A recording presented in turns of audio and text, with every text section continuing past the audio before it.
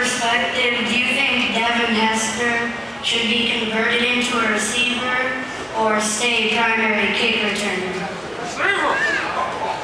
Why can't he do both? I say do both. He's, been really working really hard this whole all season, uh, trying to get the receiver position uh, down pat. Uh, he's been studying and you know, running great routes and, and, and always running defense